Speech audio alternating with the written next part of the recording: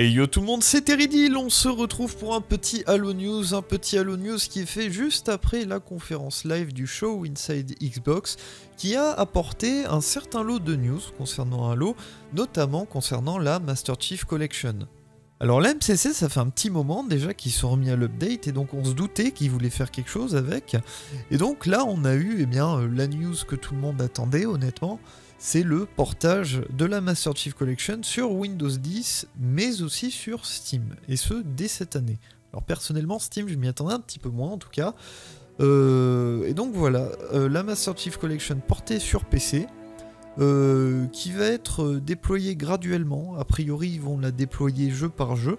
Il y a une deuxième news qui vient conjointement avec cette annonce, qui était c'était quelque chose qui était très demandé mais qu'on attendait peut-être pas forcément, peut-être un peu moins, c'est le portage aussi d'Halo Reach sur la MCC. Et donc, euh, quand la MCC va être déployée, le premier jeu qui va être déployé, c'est Halo Reach. Alors, il ne s'agit pas d'un remaster, évidemment. Il s'agit d'une version qui va être upscalée en 4K, HDR, 60 FPS. Bon, la totale, vous connaissez. Il faut aussi savoir que, à l'instar d'Halo 3 ODST, euh, la campagne ainsi que le BDF d'Halo Reach le BDF d'Halo 3 on pas entendu parler, le BDF euh, d'Halo Reach ainsi que sa campagne euh, seront vendus séparément, euh, tout comme la campagne d'Halo 3 DC vendue séparément. Cependant, tout ce qui touche au multijoueur, c'est-à-dire multi mode cinéma, par contre, c'est inclus dans la MCC de base. Donc, on n'a pas vraiment de date sur ce déploiement. On sait que ça va se faire au cours de l'année, mais ça s'arrête là.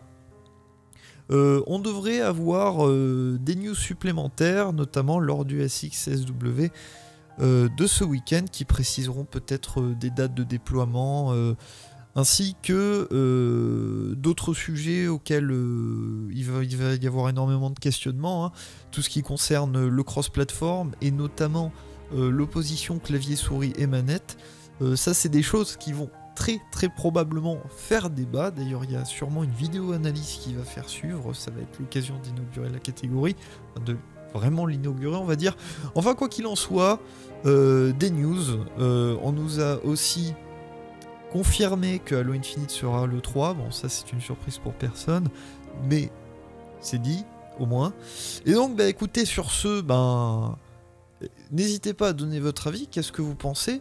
Du portage de la Master Chief Collection sur PC. Donc sur ce, moi je vous dis à une prochaine vidéo, portez-vous bien, et bien entendu, vive Halo